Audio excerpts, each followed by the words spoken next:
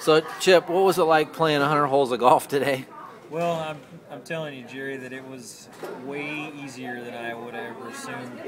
Me and the team that I played on just went out and just started playing just like you told us to, and it went really quick.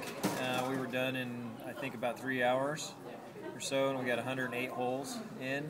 So I was pretty excited about that. We were, we all went a lot quicker than what we thought we would, and the way the format that we played, obviously, it's it's more about the fundraising than it is about the golf, and we had a really great time. Speaking of the fundraising, what was it like? What would you say to someone who said, I don't think I could reach 25 bucks a hole in pledges? You, you passed way past that. Right.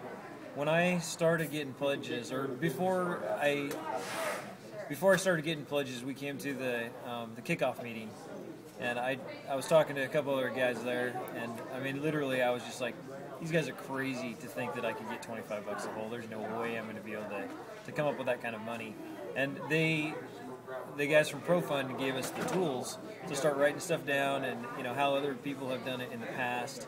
And I, you know, I started using those tools and I started putting names down of people that I thought, you know, could donate, you know, a hundred bucks, you know, right then.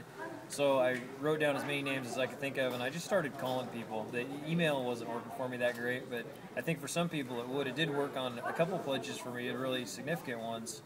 Um, and it was it was exciting to, to get past twenty five hundred dollars because I didn't think at the beginning that there was any way that I would even get to it, and then I raised you know I don't know almost a little over a thousand dollars more than that for the for Camp Cascade, so that Right. was pretty great.